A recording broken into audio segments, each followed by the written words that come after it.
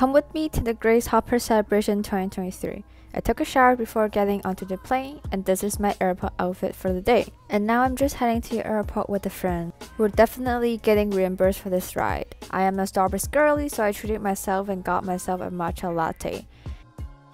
We Waited for an hour, and it's time to board to Orlando.